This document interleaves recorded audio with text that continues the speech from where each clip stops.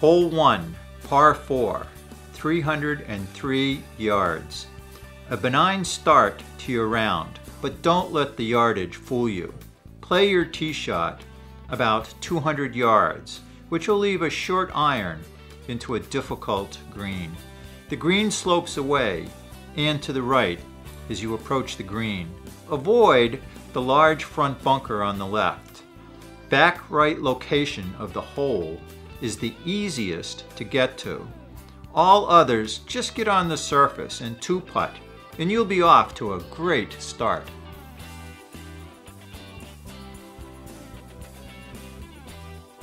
Hole 2, par 3, 160 yards. Choosing the correct club is key to making par on this great golf hole. Too short, and your ball will roll back down the approach. Too long, and you might as well as put an X on the card and go to number three. Hole 3, par 5, 555 yards. One of the great par 5s on the South Shore. A drive which goes downhill with a second shot and a third shot having to climb back up the hill to an elevated green, which will accept only the most solid of shots. A receptive green, which slopes from back to front and very steep. Do not go over this green. One has to work extremely hard to salvage a two putt when you are above the hole. As in most cases here at South Shore, stay below the hole.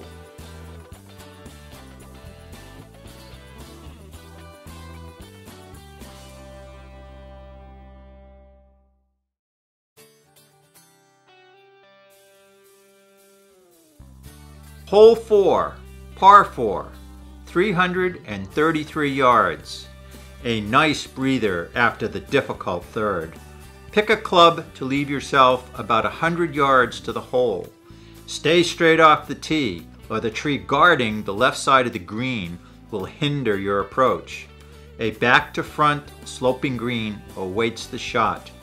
Better once again to remain underneath the hole location for your best chance at salvaging par.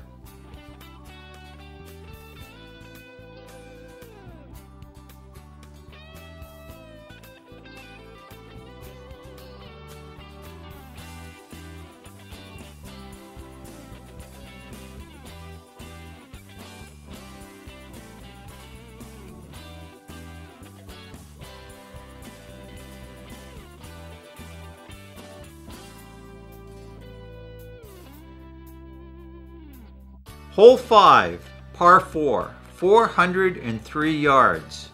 A narrow driving hole with out of bounds all the way down the left side. Many times, this hole plays dead into the wind, so be extra careful you hit a straight shot off the tee. The green is elevated, once again, in one of the flatter greens on the course. Play the yardage. The green is fairly large front to back and can be deceptive. Bunkers await the errant shot to the left.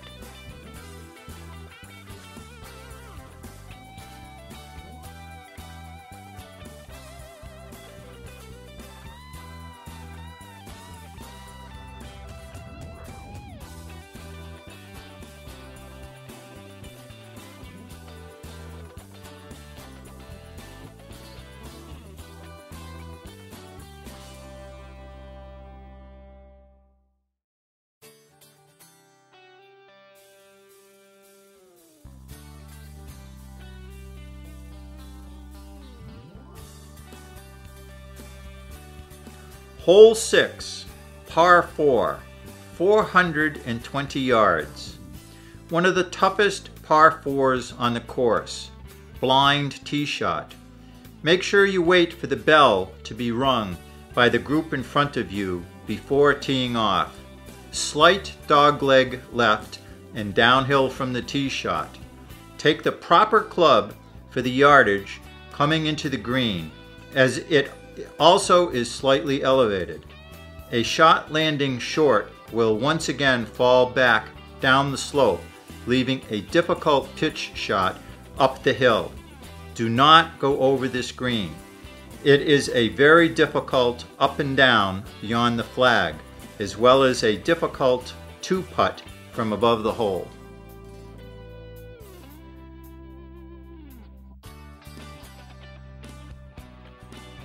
Hole 7, par 4, 384 yards. Very difficult to hit the correct club for your second shot on this severe uphill par 4. A very accurate drive is required. Looks wide open, but best to be in the fairway here.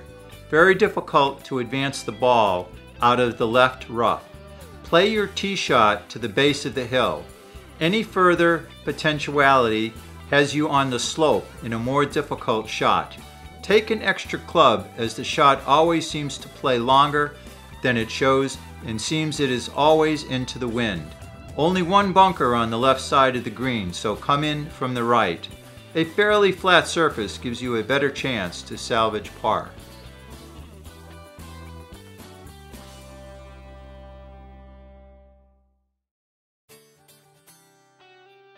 Hole 8, par 3, 201 yards.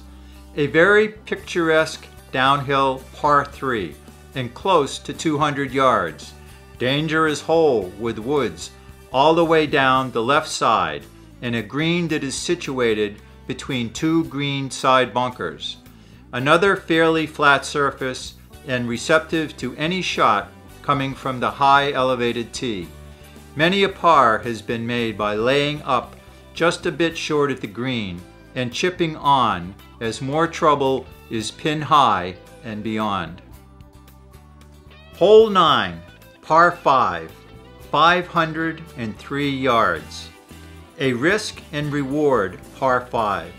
The long hitters can go for this green in two with a nice tee shot. A brook cuts across the fairway about 20 yards in front of the green, so make sure you take the correct club and hit the ball solid if you are going for it in two. Those who take the normal three shot approach can find this hole to be forgiving as long as you stay clear of the brook.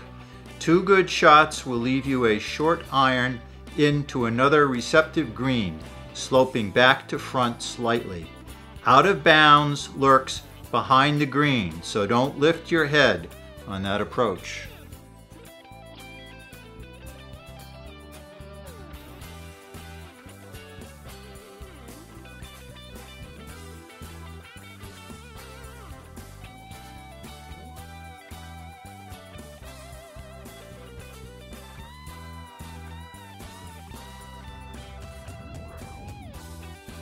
Hole 10, par 4, 321 yards.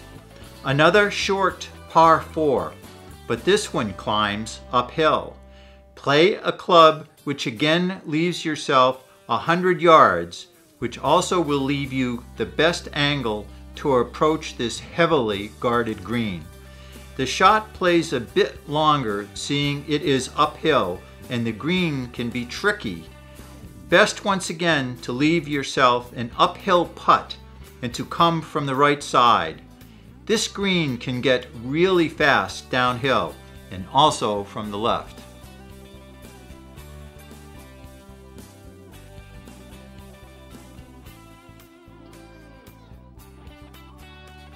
Hole 11, par 3, 185 yards. A terrific par 3 one of the flattest greens on the course, a well-guarded green with bunkers on the left and right. Club correctly here is over the green is jail, and long and right is walk to the next tee material. Same as number 8, many a par has been had with a short approach and a good chip, and a one putt for par.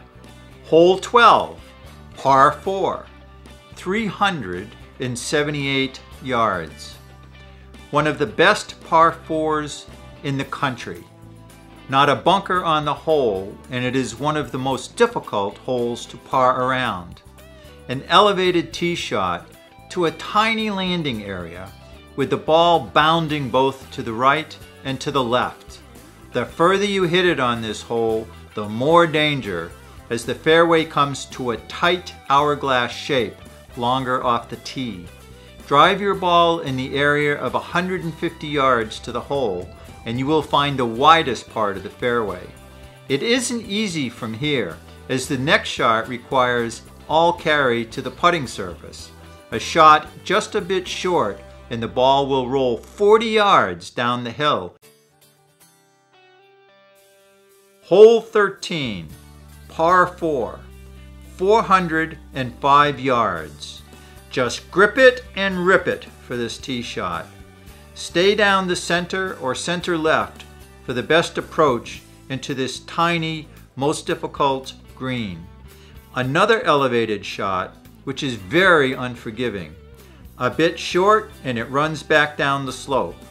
A shot just left finds the heavy rough, leaving an almost impossible chip, and long on this hole spills bogey at best. Stay beneath the hole on this approach shot if you can. This is one of the most sloped greens on the course. Hole 14, par 4, 330 yards.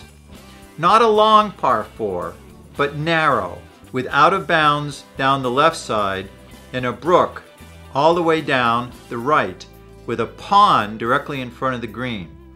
Play a club off the tee, leaving you 100 yards and a short iron approach. Make sure you club properly and make solid contact. The green is sloped slightly from back to front and will accept an iron approach. On paper, a short birdie hole, but one that will test your nerves. Trust your swing and take dead aim.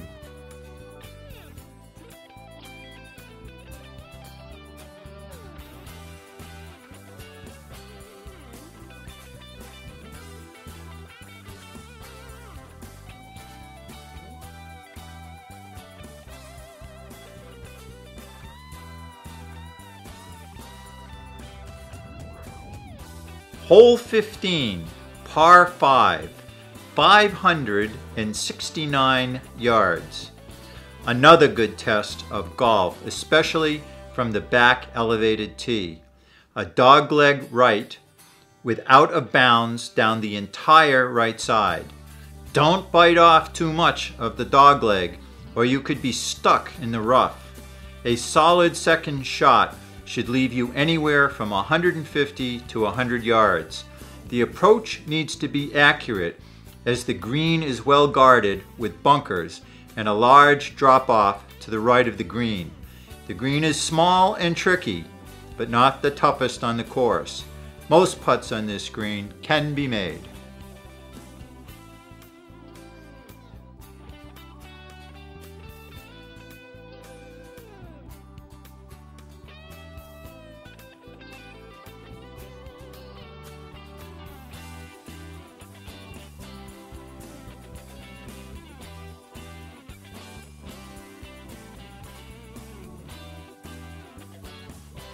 Hole 16, par 4, 384 yards. Another dynamite par 4, especially into the wind. Woods all down the left side off the tee shot with the ball bounding towards the trouble, so aim right. A shot sliced to stay away from the left trouble could be lost in the right wilderness. Your approach is as if you were playing the old course at St. Andrews, having to bump and run the ball in from the left if you want to get it close. A lone bunker awaits an errant shot to the right, along with some treacherous mounding.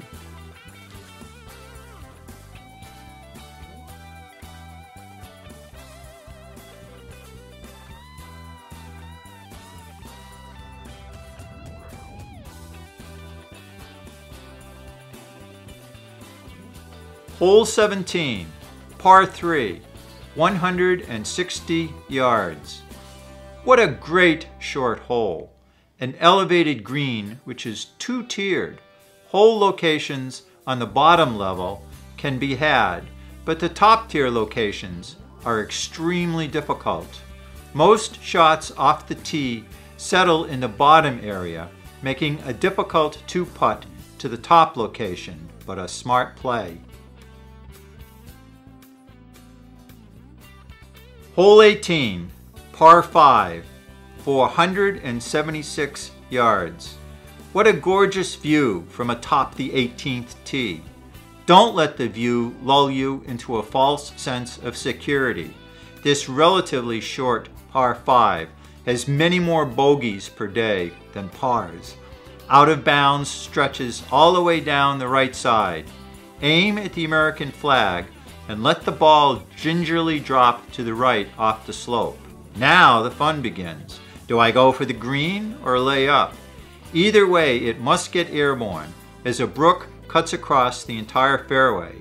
Heavy rough awaits an errant second or third shot right of the green. This green is the absolute toughest green on the course. It slopes big time from back to front and promises to be an automatic three putt when you are above the hole. It is far better to be short on your approach and work your way up the green than being above the hole. Many a round has been ruined with a brilliant drive, a superb second to 15 feet above the hole, and sadly putting five or six down on the card.